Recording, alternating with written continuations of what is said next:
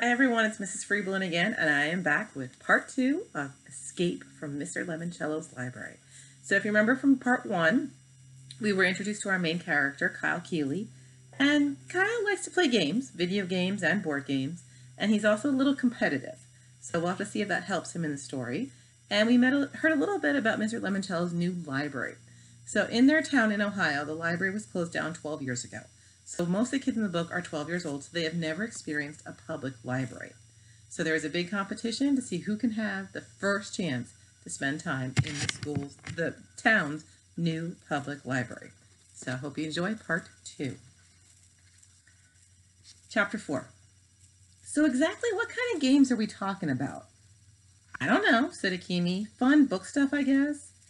And do you think the new library will have equally new computers? Definitely. Wi-Fi? Probably. Kyle nodded slowly. And this takes place Friday night? Yeah. Akimi, I think you just discovered a way for me to shorten my most recent grounding. Your what? My game-deprived parental punishment. Kyle figured being locked in the library with computer on a Friday would be better than being stuck at home with no gaming gear at all. Can I borrow a pen and a sheet of paper? What?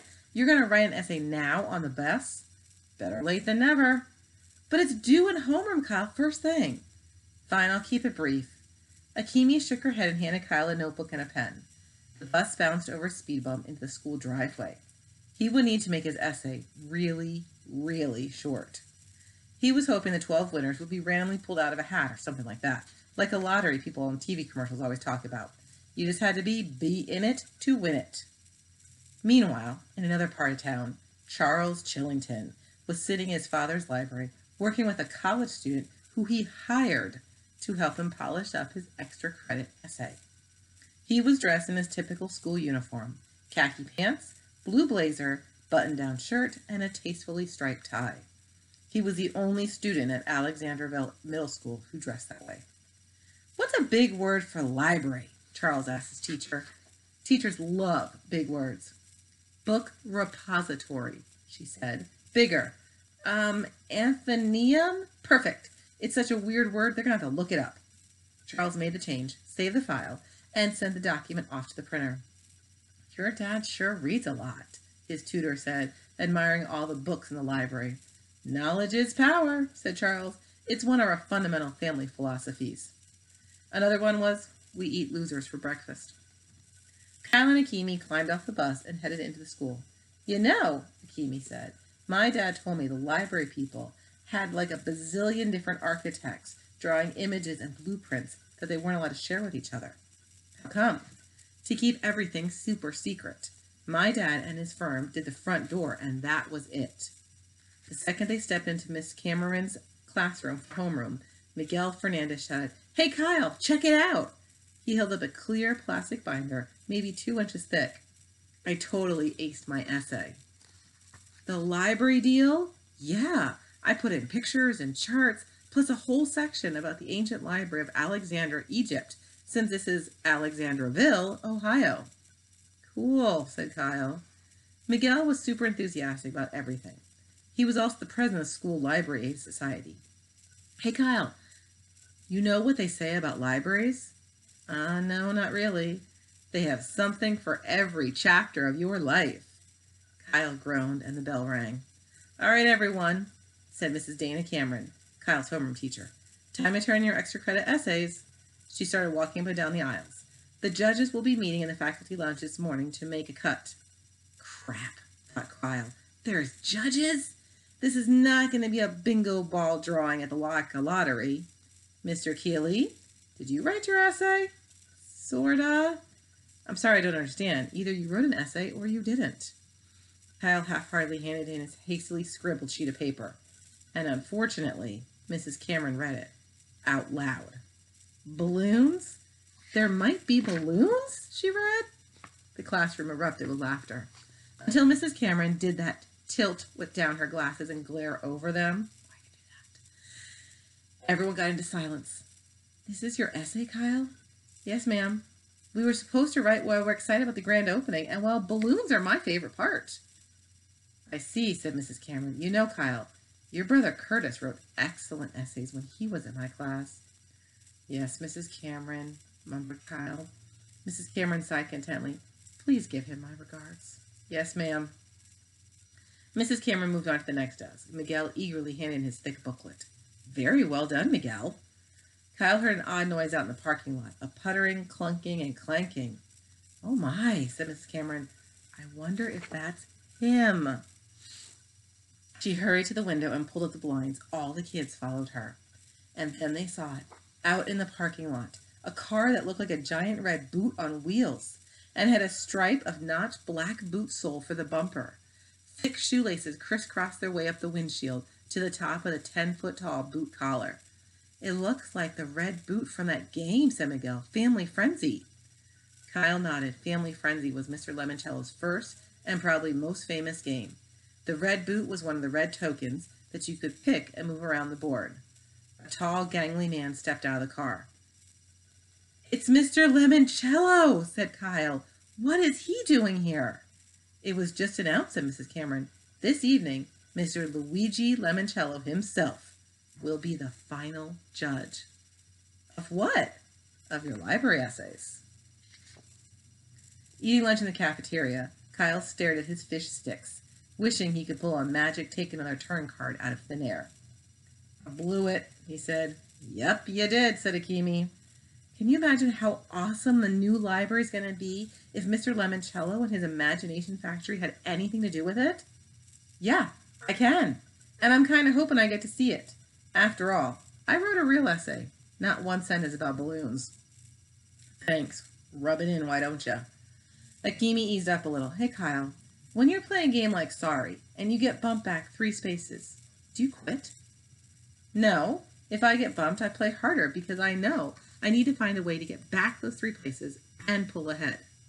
Hey guys, said Miguel. He was being followed by a kid with spiky hair and glasses. You two know Andrew Peckelman, right? Hi, said Kyle and Akimi. Hello. Andrew is one of my library aides, said Miguel. Cool, said Akimi. Miss Yunghans, the librarian, just confirmed that Mr. Lemoncello is the top secret benefactor who donated all the money for the new library. Five hundred million dollars. She heard it on NPR, said, said Peckelman, who more or less talked through his nose. We did some primary re- source research on Mr. Lemoncello and his connection to Alexandriaville. What'd you find out? said Kyle. First off, Miguel, he was born here. He had nine brothers and sisters, said Andrew. All of them crammed into one tiny apartment with only one bathroom. Over in Little Italy, said Miguel. And, said Peckelman, sounding like he wanted to one up Miguel, he loved the old public library down on Market Street. He used to go there when he was a kid and needed a quiet place to think and doodle his ideas. And get this, said Miguel, Mrs. Tobin, the librarian back then, took an interest in little Luigi, even though he was just, you know, a kid. She kept the library open late some nights and let him borrow junk from her desk or her purse thimbles and thumbtacks and glue bottles, even red Barbie doll boots, stuff he used to make games with. Andrew then jumped in. Then Mrs. Tobin took Mr. Lemoncello's sketch for Family Frenzy home to her husband, who ran a print shop. They signed some papers, created a company, and within a couple of years, they were all millionaires. But Miguel had the last word. And now, of course, Mr. Lemoncello is a bazillionaire. What are you nerds so excited about? said Haley Daly, who walked over with a whole bunch of popular girls. We're pumped about Mr. Lemoncello, said Miguel, and the new library, said Andrew. And, said Kyle melodramatically, seeing you, Haley. You are so immature. Come on, girls. Haley and her friends bounced away to the cool kids' table. Check it out, said Akimi, pointing to the cafeteria line where Charles Chillington was balancing two trays, one for him and one for Mrs. Cameron. I'm so glad you have lunch duty today, Mrs. Cameron, Kyle heard Chillington say. If you don't mind, I have a few questions about how conventions within genres, such as poetry, drama, or essays, can affect meaning. Well, Charles, I'd be happy to talk to you about that. Thank you, Mrs. Cameron. And may I say, your sweater complements your eye color. What a suck up, mumbled Akimi, Chillington's trying to use his Weasley charm to make sure Mrs. C sends his essay to Mr. Lemoncello. Don't worry, said Kyle. Mrs. Cameron isn't the final judge. Mr. Lemoncello is. And since he's a genius, he will definitely pick up on the essays you guys all wrote. Undoubtedly, said Peckelman. Thanks, Kyle, said Miguel. I just wish you were coming with us, said Akimi. Well, maybe I can. Like you said, this is a move back three spaces card. I take a walk on the boardwalk and someone else owns it. It's a shoot in Chutes and Ladders, a detour in the molasses swamp in Candyland. Yo, Kyle, how many games have you played? Enough to know that you don't quit until somebody actually wins. He picked up his lunch and headed to the dirty tray window. Akimi called after him. Where you going? I have the rest of lunch in study hall to work on a new essay. But Mrs. Cameron says she won't take it. Maybe, but I have to roll the dice one more time. Maybe I'll get lucky. I hope so, said Akimi. Me too. See you later on the bus. Chapter 6 Working on his library essay like he had never worked on any essay before his whole life, Kyle crafted a killer thesis statement that compared libraries to his favorite games. Using a library can make learning about anything fun, he wrote. When you're in a library researching a topic, you're on a scavenger hunt, looking for clues and prizes in books instead of in your attic and backyard. He put in points and subpoints. He wrapped everything up with a tiny conclusion. He even checked his spelling twice. But Akimi had been right. I'm sorry, Kyle, Mrs. Cameron said. This is a very good, and I'm impressed with your extra effort. However, the deadline was this morning. Rules are rules. The same is the same for all the board games you mentioned. She basically handed a Kyle go back 500 spaces card. But Kyle refused to give up.